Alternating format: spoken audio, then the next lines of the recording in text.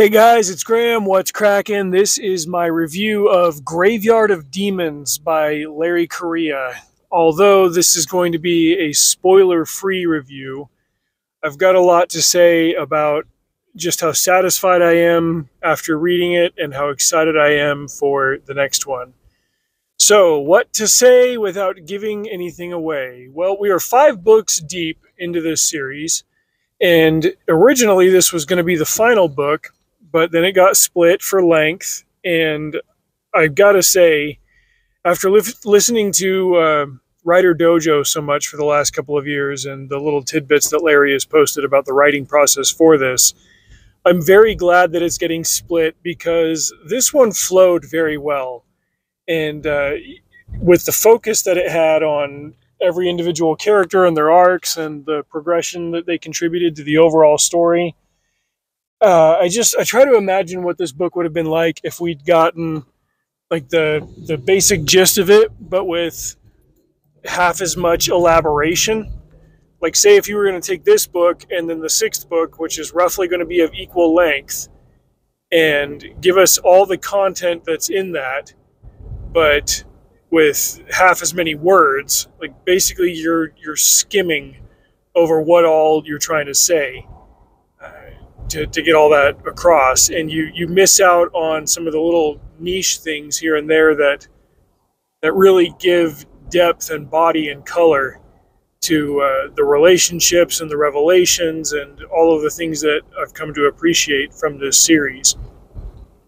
It's almost impossible for me to analyze this particular fantasy series without comparing it to the really, I'm, I'm going to say, bloated epic fantasy series that are out there. Series that could trim themselves down to this level, but instead, you know, Larry will write a book that's four or five hundred pages, where another author would write eight, nine hundred, a thousand pages. And it, it doesn't have to be that way. Like you can write it at the pace of a thriller and still give us a very deep and and uh, satisfying world and story. But I mean, I, I, I guess in in some sense that's just a, a different genre unto itself. I remember thinking about I was reading a news article in a in a car magazine years ago after Bugatti brought back the Veyron, which at the time was the most expensive production supercar ever. It was like 1.4 million dollars for the uh, the first Bugatti Veyron around 20 years ago. And guys who were in my tax bracket would look at that and just think that's freaking ridiculous. Like, who's going to do that? Who's going to buy one of those? Would you even want to drive it on the ground with other motorists? But as it turns out, there was a market for it. And the guys that are putting their money into fine art because fine art retains its value were then turning around and buying cars like the Bugatti Veyron because it would also retain its value.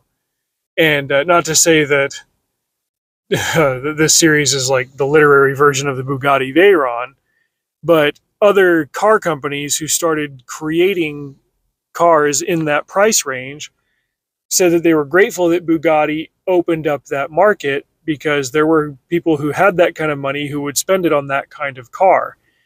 And I'm thinking this is the same phenomenon happening with this type of fantasy novel that has the the scope and the tightness and the pacing and the focus of a thriller novel, but still gives us a very rich and detailed and developed world. It just doesn't like stop you every two pages and give you three pages of uh, lore dumps and background details. Like it, it gives you what you need for the story and the characters to keep moving.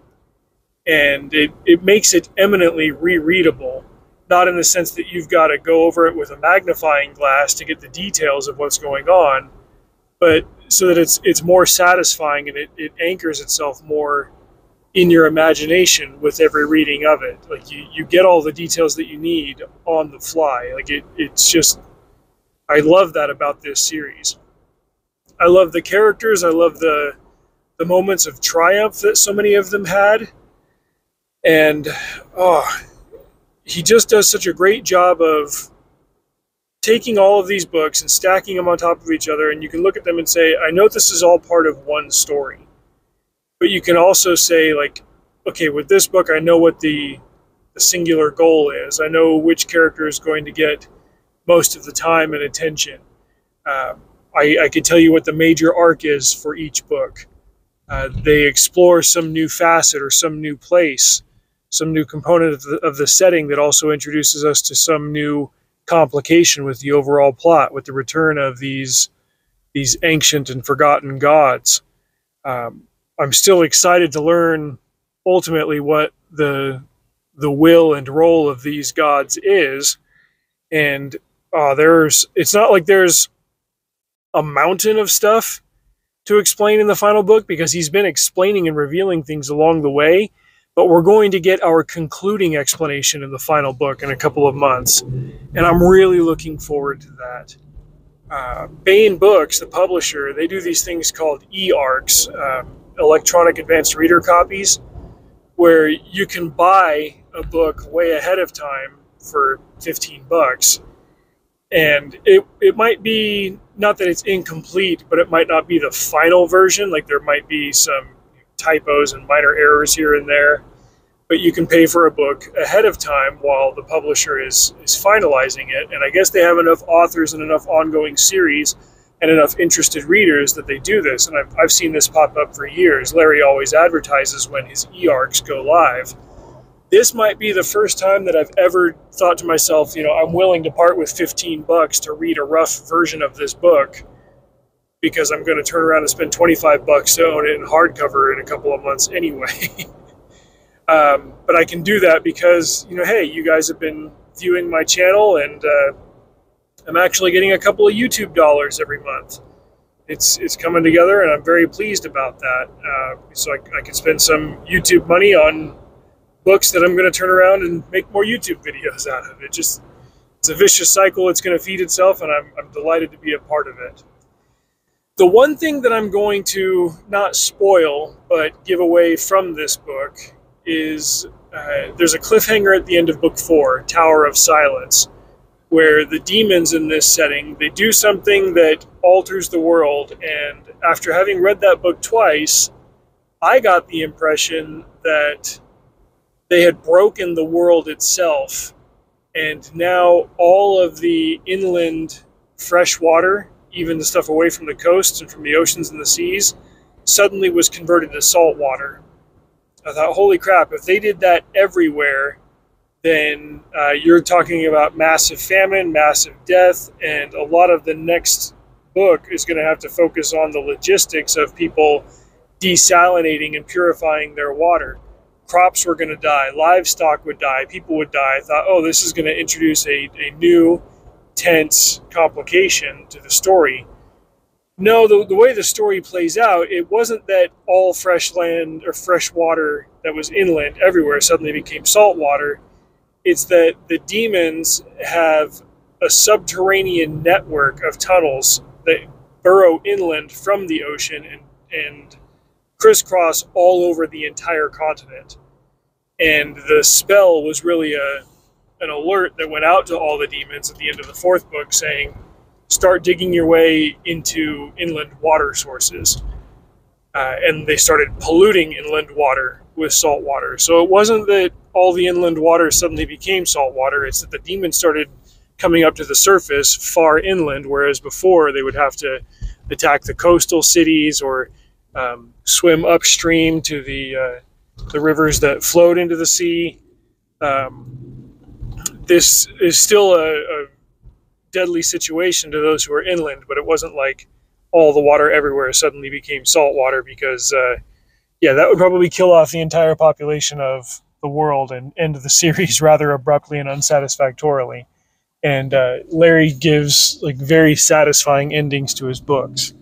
So, man, I'm just I'm really pleased with this. It's probably the best fantasy series that I'm reading right now, the Saga of the Forgotten Warrior. And after seeing where and how this one ended and how it was kind of the midway point of the script that he was working on up until a couple of months ago, uh, I'm glad that he decided to not limit himself with a fifth book, but instead expand it to a sixth book because there there's definitely enough to wrap up that he could write another book of this length and get us there. So a hearty endorsement. I'm I think that I gave Tower of Silence five stars. I know I definitely gave Son of the Black Sword five stars. I think two and three got uh, four stars from me, but I gave this one an enthusiastic five. And yeah, in a week or two, if I'm if I'm still this hyped on it, I'll probably pay for that e arc, and I'll be able to read Heart of the Mountain ahead of time.